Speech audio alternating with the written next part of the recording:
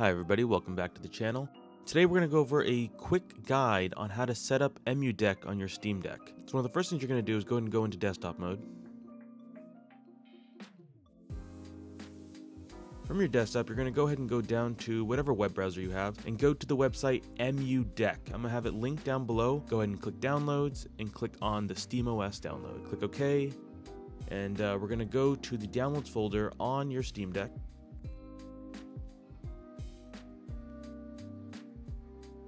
Grab it, and we're gonna drag it to the desktop because this actually has to be opened on your desktop. Move it there. We're gonna go ahead and double click that and we're gonna get something here saying that if, are we sure we wanna install EmuDeck? Go ahead and click OK. And it's gonna go ahead and do its thing and download everything you need for EmuDeck. First thing it's going to ask you is to select where you want to put your ROM directory. You can do your SD card or internal storage. You can also do custom, but I don't recommend that. Um, uh, for me, I'm going to do the SD card. Uh, this isn't something permanent, you can always change this later. Go ahead and select your device, which is a Steam Deck in this case. And here you can pick what emulators you want. I'm going to go ahead and select everything, but once again, this is something that you can change later if you wanted to add or remove any of them. But for now, you can go with the default, or you can just select the ones that you know you need. And now it's going to ask you to go ahead and do some settings.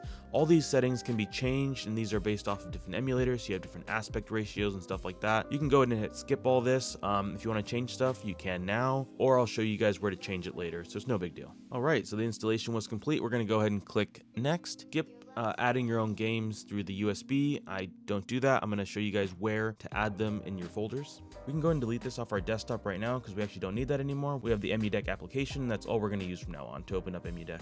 And we're going to go into manage emulators. And here you can see how to update your emulators up here. And if you ever wanted to remove or add an emulator that you had chosen not to earlier, you can do that here as well. Or reinstall it if you end up having some errors and you need to do that. Backing out of that, we also have the BIOS file checker. So some emulators are going to require you to go get your own BIOSes for them, and here's a list of the ones that EmuDeck supports that you do need to go get the BIOSes for. So things like the PlayStation as well as some other ones. So this is showing that I don't have any BIOSes right now, uh, but if you go ahead and go into your folder and go to your SD card, which is where I have mine, if you have yours on internal storage, it's going to be under home and then you're going to click deck and you should see a folder called emulation folder is the one we're going to click on. And in the BIOS folder is going to be all the different emulators that require either firmware, BIOSes, or keys. Here you can see our ROMs folder with a bunch of folders inside of it showing all the different ROMs uh, divided up based on the emulators and you can go and find the emulator or the device you're trying to emulate click on the folder and throw your rom in there so after you go you've gone ahead and added your roms into the rom folders you want to go ahead and add those games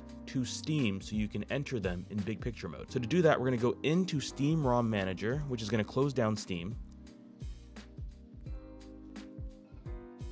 And it's to pop up this menu of parsers and you're to select the parsers you want. Now these are to be the icons that are to show up on your Steam big picture mode. You can turn them all off and select the ones that you want or you can turn them all on. We're to click parsers and then parse. And then this is what it's to look like. You can change icons if you want. You get an idea of all the ones you're to have. You're to go and click parse and you're to click save to Steam and then you're to click back and uh, if you don't like it, you can change some settings. I recommend at least having Emulation Station. You can go into Emulation Station on your Steam Deck, and then Emulation Station will have all your games there if you don't want to crowd up your Steam Deck with a bunch of emulators and games. This is a good way to do it because it keeps it nice and clean. This is to save your save files online. Uh, I'm waiting for this feature to allow you to sync your save files between devices because I think that's going to be amazing between like your desktop as well as your Steam Deck. But for now, all you can really do is go ahead and upload your save files to any of these cloud services. And over here, we have a configurator for retro achievements. If you wanted to get achievements in some of your retro games, you'd have to make a login on retro achievements and then enter that username in here. So on this tab, you're able to switch where your ROM directory directory is installed. So I have mine on my SD card, so it's asking me where I want to move it from. And if you had it on your internal storage, you can move it from there onto anything else.